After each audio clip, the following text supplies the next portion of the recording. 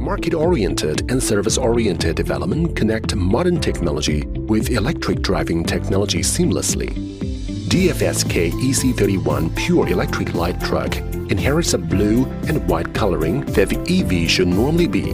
With a simplified design and spacious body, the whole vehicle is 4,735 mm long, 1,635 mm wide, and 1,985 mm high with a wheelbase of 3,050 mm and a 2,900 mm length of cargo bed.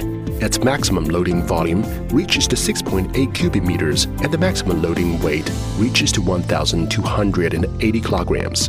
The EC31 is powered by an electric motor with a maximum power reaches to 60 kilowatts. Moderate models greatly meet the requirements of urban distribution with a simplified design of dashboard, comfortable seats, and its rotary gear shift, the DFSK EC31 delivers you a peace of mind and a safety of a ride. The EC31 is equipped with a 38.7 kWh iron phosphate lithium battery to allow you a driving range to reach to 215 kilometers under the WLTP test cycle. It is fitted with an European standard charging port and allows a fast charge from 20 to 80% SOC within 0.6 hours.